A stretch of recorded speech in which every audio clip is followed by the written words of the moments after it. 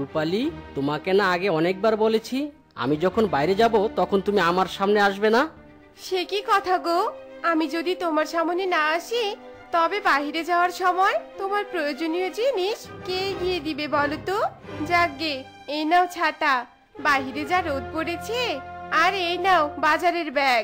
হয়েছে হয়েছে। এসব জিনিসপত্র এগিয়ে দেওয়ার জন্য দরকার পড়লে আমি দ্বিতীয় বিয়ে করব। তবু আমি তোমার মতো বন্ধার মুখ দেখতে চাই না। একই তো কালো, তার উপর আবার বন্ধা। কি দেখেছে তোমায় ঘরের বউ বানিয়েছিলাম?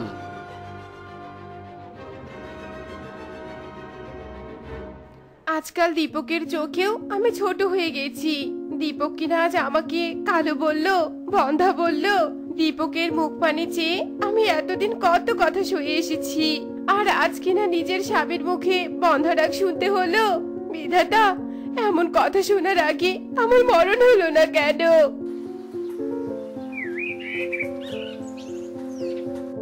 সেরেছে রে সেরেছে বলছি, বাবু, তুই যখন তখন আমার সামনে চলে আসিস কেন হ্যাঁ?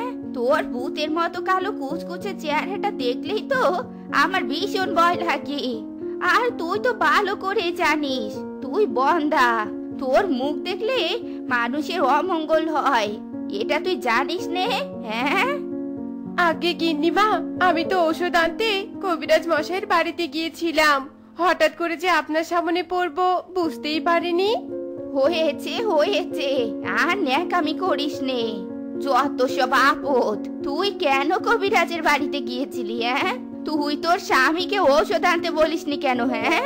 দুদিন ধরে জ্বরে বিছানায় পড়েছিলাম। সে তো আমার দিকে ফিরেও তাকায়নি। আর সে কিনা আমায় ওষুধ নিয়ে গিয়ে দিবে? তাকাবে কি করে হ্যাঁ? তুই যে তাকে একটা ছেলে পুলেও দিতে পারিসনি। এমন কালো বন্ধা বউকে যে দীপক এখন অব্দি ঘরে রেখেছে, সেটাই তো তোর কপাল। যাগে তোর সাথে কথা বাড়িয়ে আর কোনো লাভ নেই। আমি চলি।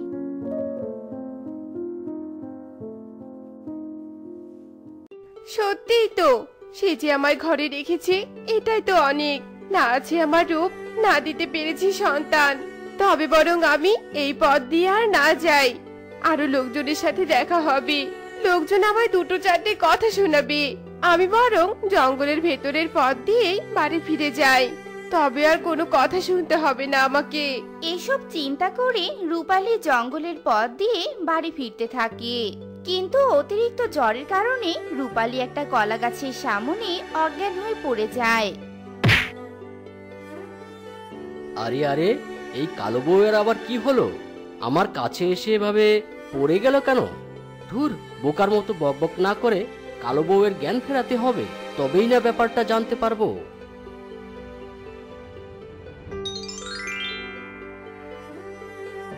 এই তো কালো বউয়ের জ্ঞান ফিরেছে। তা কালো বউ কি হয়েছিল গো তোমার? উফ শরীরটা বড্ড খারাপ হয়েছে। কিন্তু এখানে কে কথা বলছে? কে? আমি গো আমি। তোমার পাশে কলা গাছ কথা বলছি। কি হয়েছিল তোমার বলতো বাপু? তুমি এভাবে অজ্ঞান হয়ে পড়েছিলে কেন? ও মা তুমি একটা কলা গাছ হয়ে কথা বলছো? তবে শুনবে তুমি আমার দুঃখের কথা। শোনো তাহলে।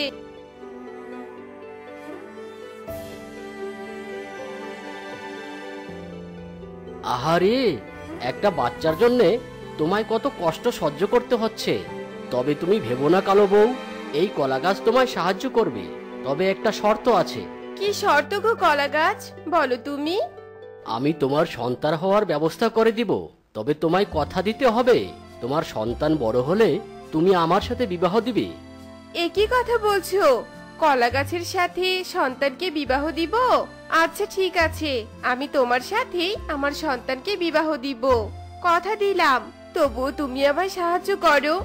একটা সন্তান যে বড্ড দরকার। এই নাও। এই ফলটা নিয়ে যাও। আজ ঘুমানোর আগে এই ফলটা খেয়ে ঘুমাবে। আর দেখবে তুমি খুব শীঘ্রই মা হবে। তোমার অশেষ কৃপা গো কলা গাছ তবে এবার আমি আসি। আর তুমি মোটেও ভেবো না।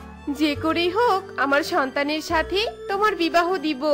এসব কথা বলে রূপালি ফলটা নিয়ে চলে যায়। আর কলা গাছের কথা মতোই রূপালি ফলটা খেয়ে ঘুমিয়ে পড়ে। আর কিছুদিন পরে রূপালি গর্ভবতী হয়। এতে দীপক ভীষণ খুশি হয়। আর এর ন মাস পরে রূপালী ফুটফুটে একটা কন্যা সন্তানের জন্ম দেয়। বিধাতা আমি তো মা হলাম। কোলে ফুটফুটে একটা মেয়ে এলো আমার। কিন্তু কলা গাছের দেওয়া শর্ত তো আমায় খুব ভাবাচ্ছে। বন্ধুরা এখন তোমরাই বলো তো আমি আমার সন্তানকে কি করে কলা গাছের সাথে বিবাহ দিব? কি গো গিন্নি? কি ভাবছ? এখন আমার মেয়েকে আমার কোলে দাও তো। তোমার মতো কালো বউয়ের পেট থেকে যে এত সুন্দর মেয়ে হবে তা কখনো ভাবিনি। এসব কথা বলে দীপক বাচ্চাটাকে কোলে নেয়। কিন্তু দীপকের কথায় রূপালীর আর মন খারাপ হয় না। আর এরপর থেকে দীপক আর রূপালী অনেক আদর যত্ন করে তাদের মেয়েকে বড় করতে থাকে। দেখতে দেখতে পনেরোটি বছর কেটে যায় আর রূপালীর মেয়ে শশীও বড় হয়ে যায়। দেখো বউ দেখো আমাদের মেয়েটা কত বড় হয়ে গেল।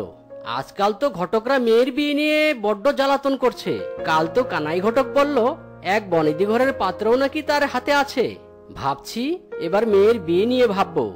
না গো, মেয়েকে বিয়ে দেওয়ার ব্যাপারে তুমি ভেবো না। আমরা আমাদের মেয়েকে কোনো মানুষের সাথে বিবাহ দিতে পারব না। কলা গাছের সাথে বিবাহ দিতে হবে গো। কারণ কলা গাছের দেয়া ফল খেয়ে আমি গর্ভবতী হয়েছিলাম। আর ওই কলা গাছ আমার শর্ত দিয়েছিল। আমাদের সন্তানকে ওর সাথেই বিবাহ দিতে হবে গো। মানে? এসব তুমি কি বলছো গো গিন্নি? আমাদের মেয়েকে কলা গাছের সাথে বিবাহ দিতে হবে? না আমি এটা কিছুতেই মানতে পারতেছি না। আমি তোমার দুটো পায়ে পড়ি গো। তুমি আমার কথাটা মেনে নাও নয়তো আমাদের মেয়ের অনেক বড় ক্ষতি হবে। কি?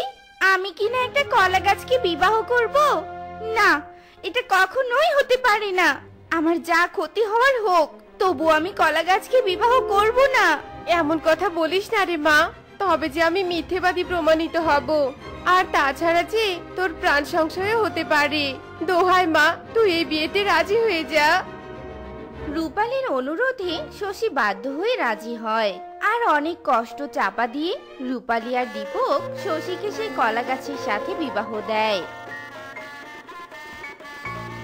বিয়ে শেষ হতেই কলা গাছ খুব সুন্দর একটা যুবরাজে পরিণত হয়।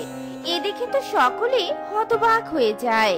আমি বুঝতে পেরেছি, তোমরা আমায় দেখে অবাক হচ্ছ। আর অবাক হওয়ারই কথা, আমি অচিনপুরের যুবরাজ, এক অভিশাপে কলাগাছে পরিণত হয়েছিলাম।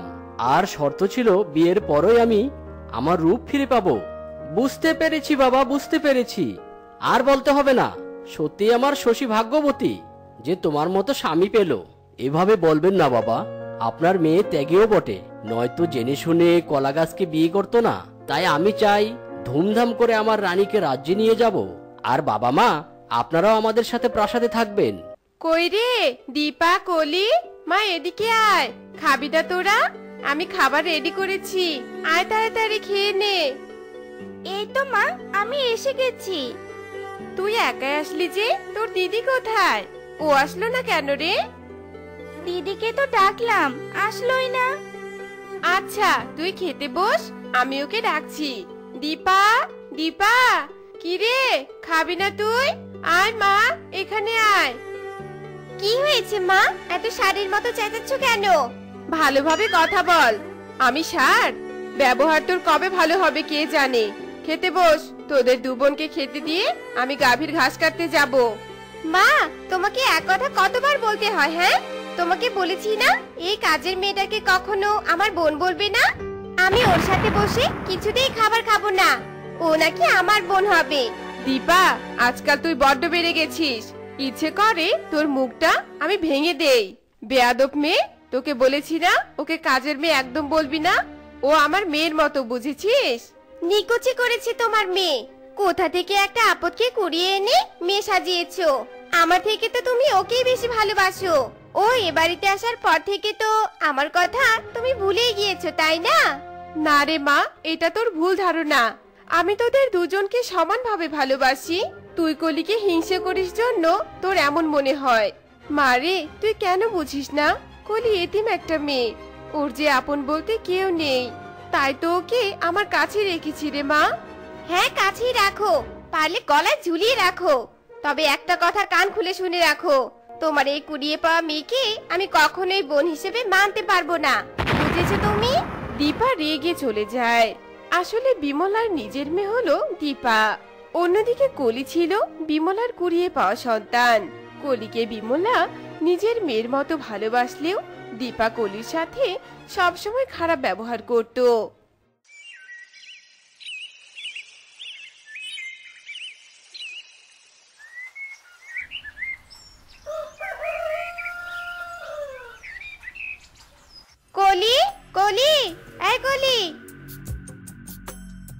কি হয়েছে দিদি? ডাকছিস কেন? এই হারাম জাদি তুই এটা কি করেছিস? তোকে আমি এই জামাটা ধুতে দিয়েছিলাম।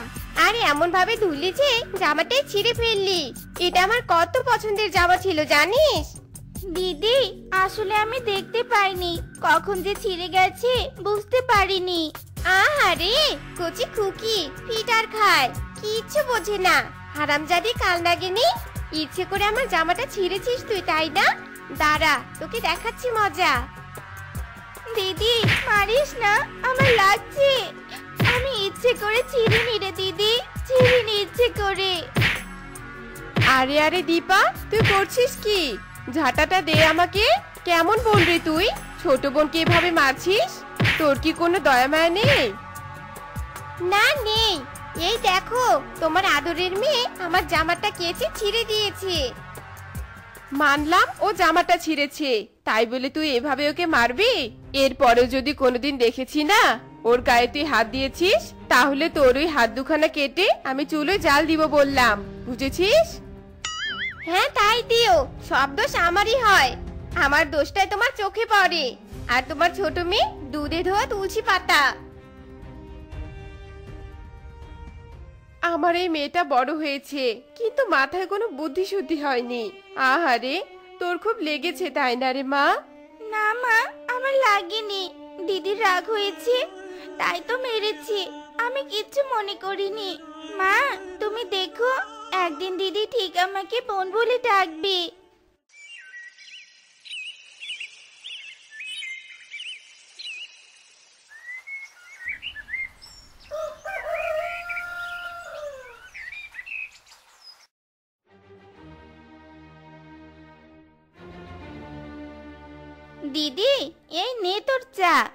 নাকি মাথা ব্যথা করছে? আদা, লং দিয়ে আমি তোর জন্য চা বানিয়ে এনেছি। খেয়ে নে দেখি। নিকুচি করেছে তোর চায়ের। তোর চা তুই খা। চাটা ফেলে দিলি? আমি তো তোর ভালোর জন্য এনেছিলাম, দিদি। ওরে আমার জাদুমণি রে, কি আমার ভালো চাই। তুই কত ভালো চাস আমার, তা আমার জানা হয়ে গেছে। যা দূর হ দূর হ আমার সামন থেকে। আমার বাড়িতে এসে তো আমার ভালো থাকাটাই কেড়ে নিয়েছিস। সর সর আমাকে বেরোতে হবে। একজনের সাথে দেখা করব আমি। কি ব্যাপার? দিদি এত তাড়াতাড়ি কোথায় চলে গেল? ওই বখাটে ছেলেটার সাথে দেখা করতে গেল না তো আবার? আমাকে তো ব্যাপারটা দেখতেই হবে। কি ব্যাপার জানে মন? তোমার আসতে এত দেরি হলো কেন? জানো না আমার বাড়িতে একটা কালদাগিনী আছে। সারাক্ষণ আমার পিছু লেগে থাকে। যাকগে সেসব কথা ছাড়ো তো ওগুলো। চলো, আমরা নদীর পাড়ে বসে একটু সময় কাটাই। সর্বনাশ! তার মানে আমার ধারণাই ঠিক। দিদি আবার এই বখাটে দীপক দাদার সাথে প্রেম করা শুরু করেছে। দিদি তো জানেই না যে দীপক দাদা কতটা খারাপ। না, দিদি আজ বাসায় এলে দিদিকে বোঝাতে হবে, নইলে যে সর্বনাশ হয়ে যাবে।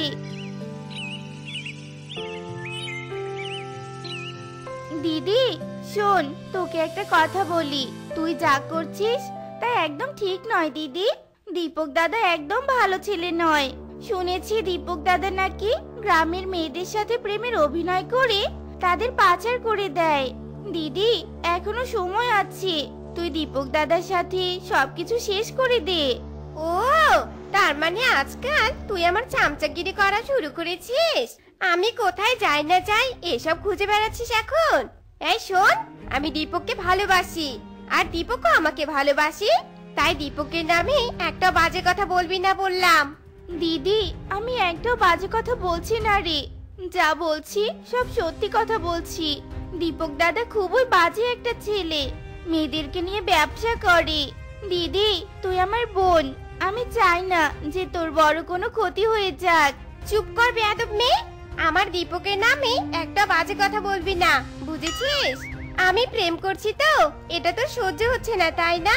নিজের তো এমন কুৎসিত চেহারা নিয়ে প্রেম করার মুরদ হয় না। তাই আমাকে দেখে হিংসা হয় তোর না? শোন এরপর থেকে দীপকের নামে বাজে কথা বললে কিন্তু তোর চুলের মুঠি আমি ছিঁড়ে ফেলব। এই বললাম। দিদি তো আমার কোনো কথাই শুনছে না। এদিকে মা যদি এসব জানে তাহলে তো দিদিকে অনেক বকবে। না, যা করার আমাকেই করতে হবে। দিদির প্রতি আমাকেই নজর রাখতে হবে। দিদির কোনো ক্ষতি হতে দিব না আমি।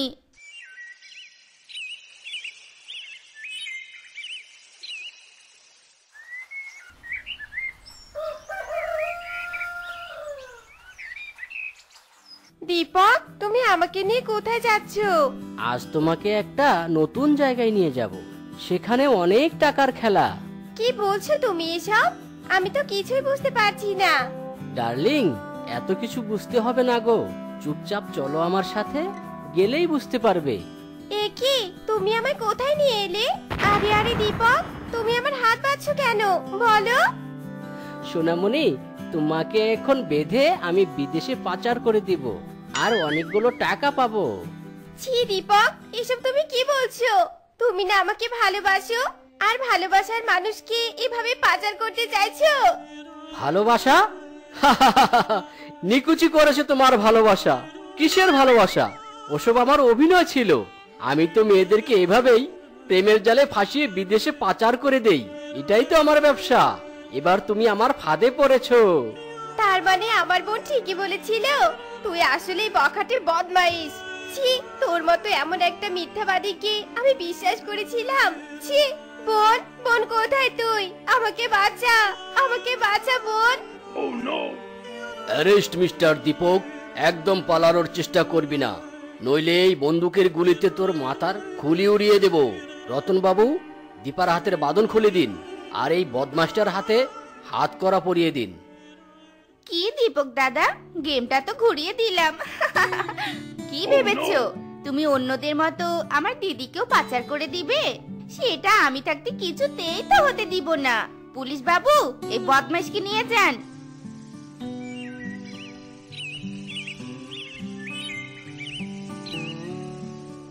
কলি বোন আমার আজ তোর জন্য আমি বেঁচে গেলাম রে। বোন তুই আমাকে ক্ষমা করে দিস। তুই সারা জীবন আমার ভালো চেয়েছিস। অথচ আমি তোকে ভুল বুঝেছি। তুই আমাকে ক্ষমা করে দিস বোন। তোর সাথে অনেক অন্যায় করেছি রে। দিদি তোকে ক্ষমা চাইতে হবে না। তুই যে আমাকে বোন বলে ডেকেছিস এতে আমি অনেক খুশি। দিদি আমি তোর কোনো ক্ষতি হতে দিব না রে। ভাগ্য করে তোর মতো একটা বোন পেয়েছি রে। আর তোকে আমি হারাতে চাই না। চল বোন এখন বাড়ি ফিরি। দীপার কলি দু বোন বাড়িতে ফিরতে থাকে। তো বন্ধুরা, আমাদের আজকের এই গল্পটি তোমাদের কাছে কেমন লেগেছে তা কমেন্টে জানাতে ভুলো না কিন্তু।